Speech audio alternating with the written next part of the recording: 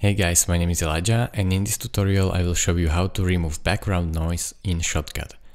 So I have this clip here and in order to remove background noise, noise you can go ahead, right click on your clip and detach audio. Now when you have your audio detached and on the audio track, uh, select it and go over here to filters or if you don't see it here, then go up here to filters.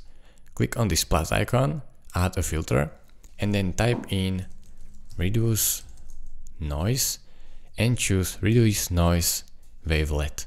As you can see, click on that.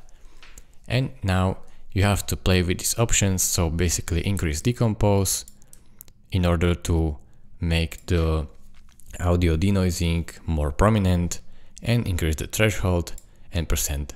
So play with this as you want, listen to your audio and uh, basically that's how we do it. So thank you guys for watching. If this video was helpful to you, consider subscribing and liking this video and I will see you in the next tutorial. Bye bye.